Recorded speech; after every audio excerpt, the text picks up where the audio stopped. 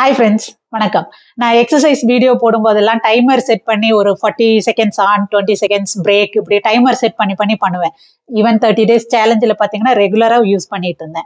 So அதுக்கு நிறைய sisters அது எப்படி பண்ணணும் என்ன ஆப்பு அது எப்படி டவுன்லோட் பண்ணி பண்ணணும் அப்படிங்கிறத கேட்டுகிட்டே இருந்தீங்க ரிப்பீட்டடாக நான் அந்த ஆப் பேர் கூட ஒரு சில கமெண்ட்ஸில் போட்டிருக்கேன். ஸ்டில் நிறைய பேர் கேட்கறனால நான் யூஸ் பண்ணுற ஆப்பையே எப்படி டவுன்லோட் பண்ணணும் அதை எப்படி செட் பண்ணணும் அப்படிங்கிறத செஞ்சு காமிச்சிட்டோம் அப்படின்னா உங்களுக்கு ஈஸியாக இருக்கும் அப்படிங்கிறனால அதை எக்ஸ்பிளைன் பண்ண போகிற குட்டி பதிவு தான் இது. ஸோ டைரெக்டாகவே என் மொபைலில் அதை எப்படி டவுன்லோட் பண்ணணும் எப்படி செட் பண்ணணும் அப்படிங்கிறதெல்லாம் பார்க்கலாம் வாங்க. ஸோ இப்போ நம்ம ப்ளே ஸ்டோரில் எக்ஸசைஸ் டைமர் அப்படின்னு டைப் பண்ணிங்கன்னா இந்த ஃபஸ்ட்டு தெரியுது பாருங்கள் அந்த இந்த ஆப் தான் நான் யூஸ் பண்ணுறேன் அதை இன்ஸ்டால் பண்ணிக்கோங்க. ஈவன் இது ஆப் ஸ்டோரில் ஐஃபோன் யூஸ் பண்ணுறீங்கன்னா ஆப் ஸ்டோர்லேயுமே இருக்குது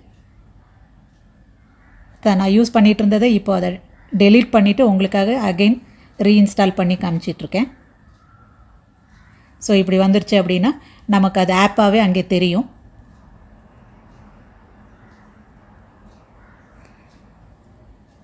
இப்போ நம்ம அதில் ஓப்பன் பண்ண வேண்டியதான் ஸோ இதில் பார்த்தீங்க அப்படின்னா இது மாதிரி டைமர் ப்ளஸ் தெரியுது பாருங்கள் இதை கிளிக் பண்ணிட்டோம் அப்படின்னா புதுசுக்கு நியூ ஒர்க் அவுட் அப்படிங்கிறத கிளிக் பண்ணோன்னா இதில் நம்ம எப்படி வேணும் என்ன பேர் கொடுத்துக்கலாம் லைக் மார்னிங் ஒர்க் அவுட் இப்படி ஏதாவது வேணும்னா அது மாதிரி கூட நீங்கள் பேர் கொடுத்துக்கலாம் இப்படி. அதுக்கப்புறமா அதிலே இருக்குது பாருங்கள் டியூரேஷன் எவ்வளோ நேரத்துக்கு வேணும் எவ்வளோ நேரம் எக்ஸசைஸ்க்கு பிரேக் வேணும் இது எல்லாத்தையுமே நம்ம செட் பண்ணிக்கலாம்.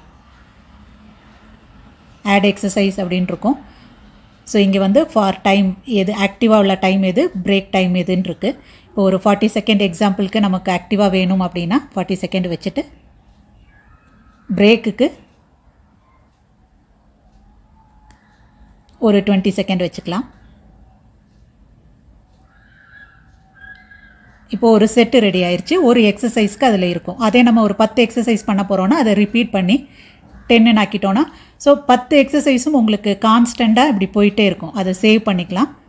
இப்போ நம்ம போட்ட மார்னிங் ஒர்க் அவுட் பேரோடையே வந்துருச்சு பாருங்கள் டைட்டிலோட அதை கிளிக் பண்ணிட்டோன்னா ஜஸ்ட் ஸ்டார்ட் பண்ணணும் அவ்வளோதான் இது மாதிரி அது ஆட்டோமேட்டிக்காக ஃபார்ட்டி செகண்ட் ஆன் ஆகும்.